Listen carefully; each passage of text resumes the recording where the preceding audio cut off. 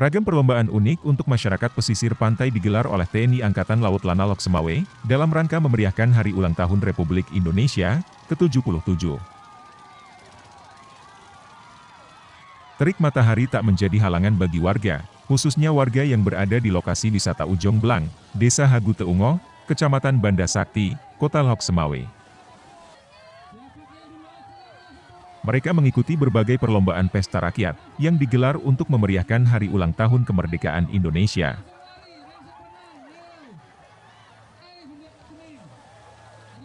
Beberapa rangkaian perlombaan seperti tarik tambang, perahu cepat, dan panjat pinang.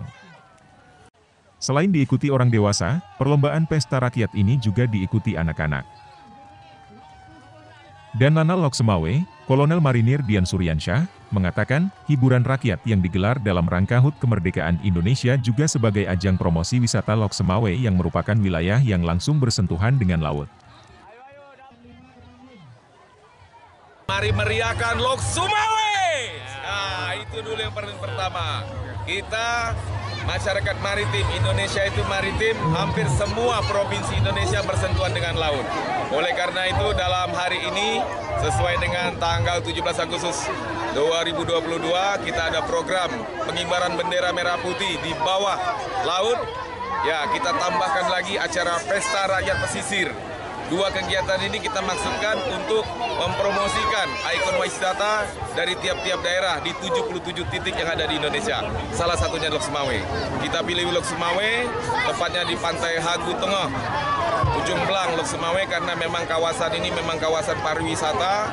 Laut di bawahnya pasirnya juga bagus, Kemudian juga lautnya juga tenang, cukup bagus untuk anak-anak bermain wisata di sini.